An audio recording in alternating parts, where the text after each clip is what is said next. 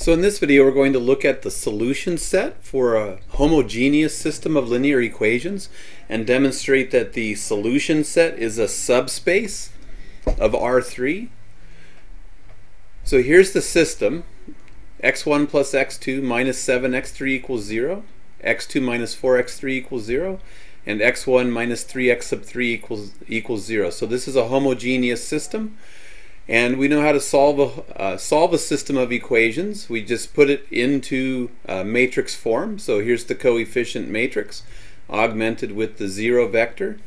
And we put that into reduced row echelon form and then interpret the result. And in this case, when we when we do that, we get that the solutions look like this: x sub 1, x sub 2, x sub 3. The three components are going to be equal to 3r, comma 4r, comma r.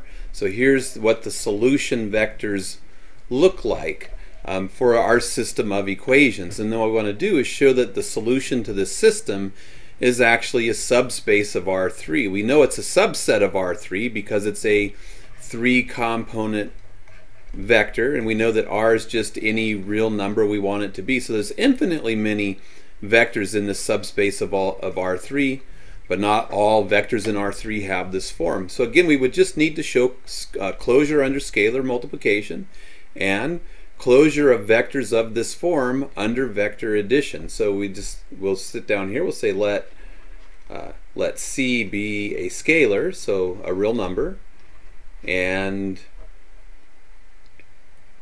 we'll let, uh, let's do 3x comma 4x comma x is clearly a element from the set of vectors that look like 3r, 4r, r, where r is a real number.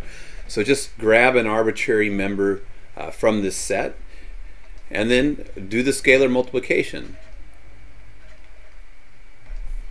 So we do c times the vector 3x, 4x, x, which equals distribute the c into the vector. So we get uh, 3 and then uh, inside of here because we're doing product of uh, real numbers the order of multiplication won't matter so I'll do 3 times c times x 4 times c times x and c times x. And this equals the vector that looks like 3r 4r r if we let r equal the real number, c times x. And that's all r is, is a real number. And because c and x are both real numbers, c times x is a real number r. So we're closed under scalar multiplication because when we multiply by a scalar, we get a vector that has the form uh, that is required for membership in this subset right here, 3r, 4r, r. So thus 3r, 4r, r, vectors of this form, the subset is closed under scalar multiplication. Now we want to show closure under vector addition. Uh, so now consider my horrible penmanship. Now consider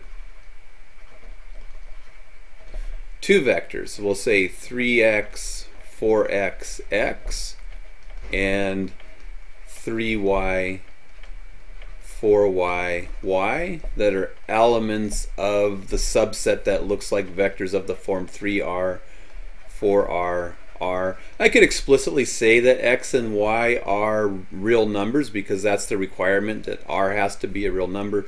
But by saying that I'm an element of the set, that kind of implies that x and y are real numbers. So note, let's go ahead and add them.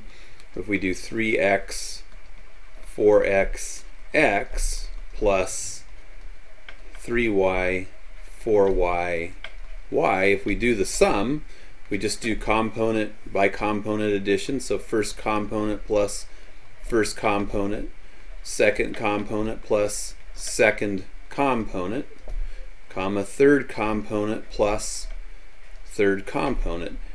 But notice for the first component, the 3 factors off. For the second component, the 4 factors off. and we'll leave the third component alone. And this has the form 3r, 4r, r, where r is just equal to the real number you get when you add x plus y. So when we added the two vectors from the subset, we wound up with a vector that had the same form that's required for membership in the subset. This means that the subset is closed under vector addition. So the subset is closed under vector addition.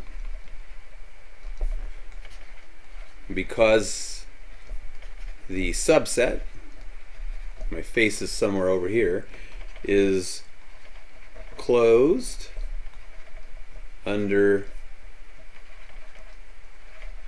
scalar multiplication and vector addition the subset oh it's getting worse. My penmanship's getting worse as I go. The my hands getting sore as I go. The subset is a subspace of R3 and it's a subspace of R3 because this is clearly a subset of R3 all vectors uh, with three components